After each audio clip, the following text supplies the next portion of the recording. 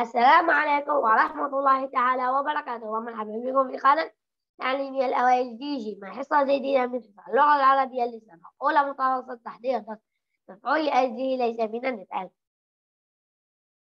الأمثلة زائد الاستنتاج زائد الإعراب. للسنة أولى متوسط. نبدأ.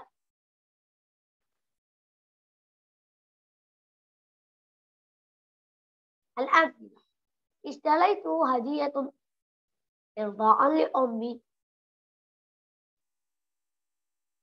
أحسن إلى أمي ابتغاء مرضات الله. تصدقت على الفقير أملا في الأجر والتمام الاستنتاج المفعول لأجله هو مصدر قلب مصروف يبين الغاية أو سبب من وقوع الفعل.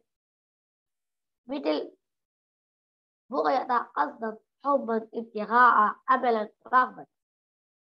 إلى آخره. نجد المفعول لأجله إذا سألنا لماذا؟ لماذا اشتريت هدية؟ اشتريت هدية إرضاء. إرضاء لأمي. إذا إرضاء مفعول لأجله. الإعراب. أقرأ القرآن تقرب إلى الله. تقربا مفعول لأجله منصوب علامة نصب الفتحة الظاهرة على آخره.